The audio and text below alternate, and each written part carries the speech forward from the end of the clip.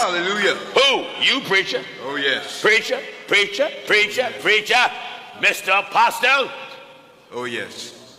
You're going to remember all the fake miracles that you did. That's right. You're going to remember the time you hired your relatives to pretend that they were sick. That's right. You're going to remember how you hired that brother in the church to pretend he was dead. That's right. And you pretend you raised him just to make a name for yourself. That's right. The fool The fool! had said in his heart. You're to remember!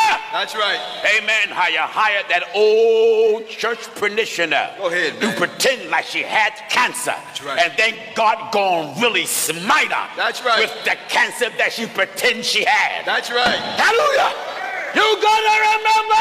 Hallelujah. Oh, hallelujah. Glory to Hallelujah. God. Hallelujah. Preacher, you're gonna remember how you went from town to town, Go ahead, man. state to state, and just robbed the people. That's right. just told them something good to tickle their ear. That's right. But when you stand before God, Oh, yes. Hallelujah. Viewers, as you know that Bishop T.D. Jakes and Gino's fighting are normal. Every day there is some dispute between them. Pastor Gino Jennings has publicly criticized T.D. Jakes and his wife Serita Jakes, accusing them of staging a fake miracle during a church service.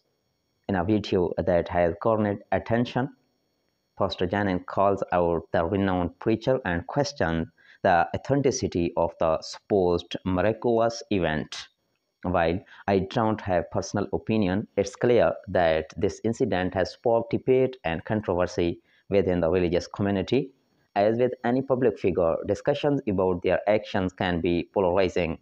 It's essential to approach such matter with an open mind and consider various perspectives. Ultimately, individual must form own conclusion based on the available information and their personal belief.